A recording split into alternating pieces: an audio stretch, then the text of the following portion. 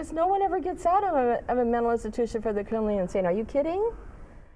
The only way you get out of there is uh, in the graveyard.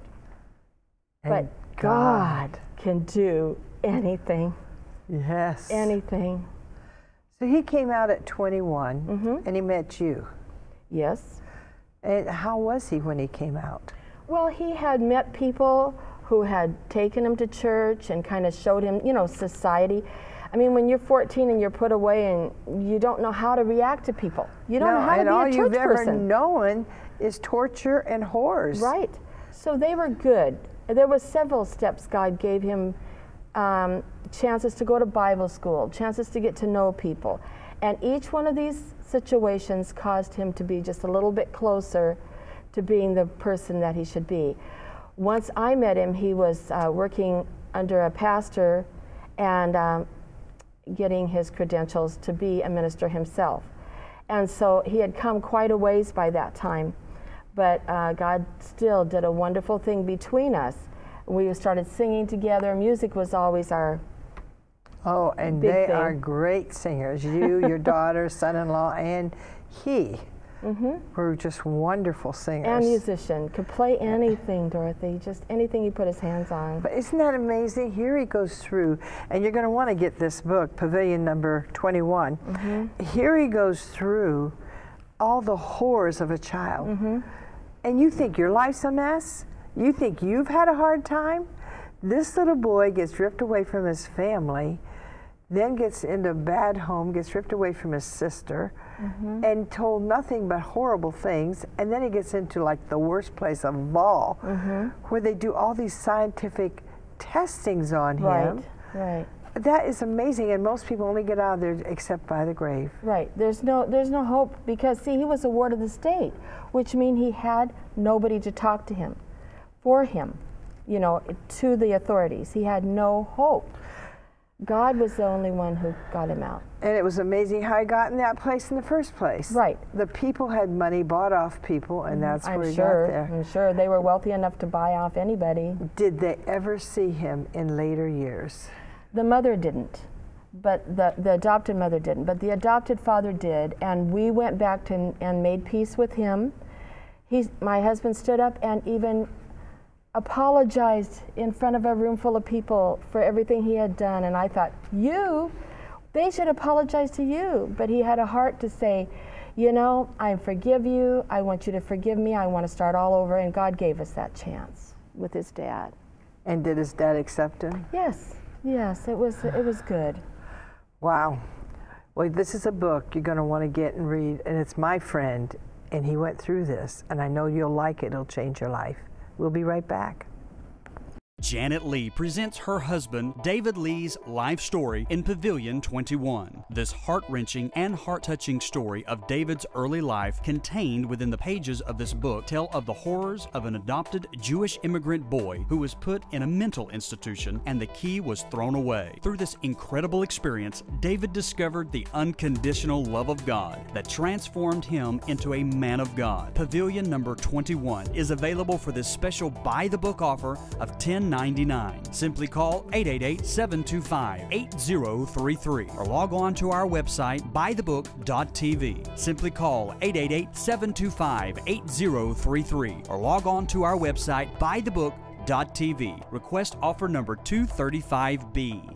Buy the book today.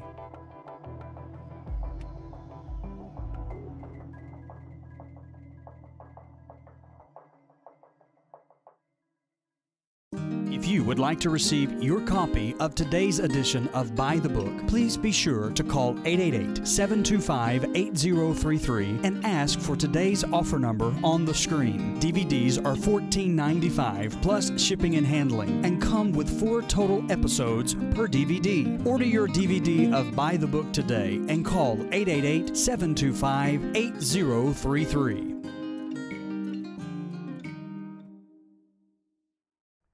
Welcome back to Buy the Book. And we left this off the last time, but there's talk of making this a movie. Mm-hmm. This would be mm-hmm. a great movie. Mm-hmm. It would be. It's got a lot in It's there. Mm-hmm. got a lot in there, and it would mm-hmm. be a great movie. So pray for that because that would be changing many people's lives. Well, the next one, I really like this one too. I like all your books. This is Janet Lee, my friend. I like her books because she writes them with such passion. But this one here, and the miracle goes on. And I have read some of the miracles that you've had, and I was telling one of them on the way to this program. Were you? Yes, I was talking about the time when you were in a car with some friends and a truck was coming and cars were coming, and you said, Okay, this is very exciting. There's a lot of different uh, on the road type miracles. But the one miracle uh, that I love to say, and I- love this book because we put in it real things, Dorothy. They're not fictional. Uh-uh. They may sound fictional, but they're not. And if somebody doesn't want to believe it, that's okay, but it happened. It happened. And my husband and his friend were in the front seat, and my, my friend and I were in the back seat. Is This is the one you're talking about? And we were coming up to, uh, well, we were in traffic. We couldn't move. uh-huh. A truck was coming from a side road on my side, kind of, you know, how it comes on a side road comes into the mainstream. And the friend that was driving saw him and he said he was coming at a fast rate of speed. The first thing out of his mouth was, Please forgive me. It's not my fault. I can't do anything about it. And we looked at him, What? The truck didn't stop. He came right through our car and went right to on the other side and continued on. But what happened to my friend and I, what we saw is the whole car filled with light, and we felt the sensation in our body of something whoosh, but nothing hurt us, just that feeling. Now you get this picture, right? Yeah, God moved steel and bodies, and nobody got hurt except that when we looked back, he said, Turn around and look at that guy who just went through us. We did, and the car was kind of bouncing, you know, the truck like, like he had just went over something. I don't know what he felt, but God said it's not time, and when it's not time, it's not time. And you can just say the name of Jesus when you don't know what else to say. You, just, you don't have time to say anything else. Just say Jesus, mm-hmm. Jesus. Mm-hmm. Call upon him. He says, I'll deliver you in time of trouble. And he did. That thing went through, through. your vehicle. Mm-hmm. Well, one time that happened to me with a dog. There was this dog, a big dog.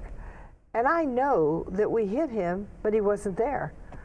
I mean, we didn't feel a hit. We didn't. He was right in front of my car. I had to hit him, but he wasn't there because he just went through us. We went mm-hmm. through him, or something happened, but that dog was fine. God can do that. He can move. See, to Him, He made everything and all the molecules and everything. He just moves things.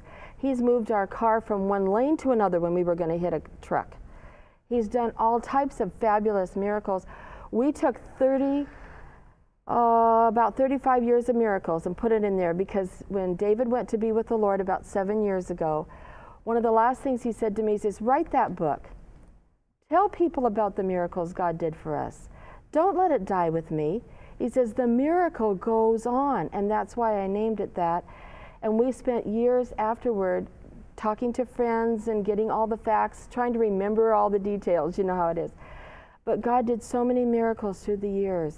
He provided food. Oh, absolutely. I'll never forget this one time. We had this little piece of meat, and this whole bunch of people came over because my husband was so gracious to ask them to come over.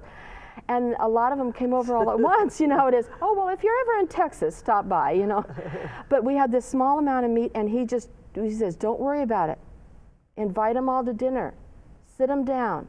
He went into the kitchen and started saying, in the name of Jesus, pounding that meat, and it stretched, and we fed everybody and had some left over.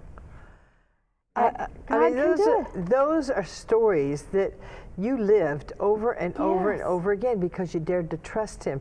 Didn't you have to go somewhere to minister, and you came to this church and there was no food? That's right. Um, there was many times pastors would ask us to fill in for them when they're on vacation, which is okay.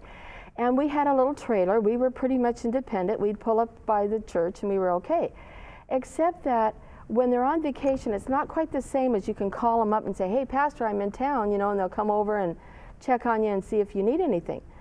Well, we didn't even know who to call to say, come over and help us. We just pulled up next to the church and, okay, he left the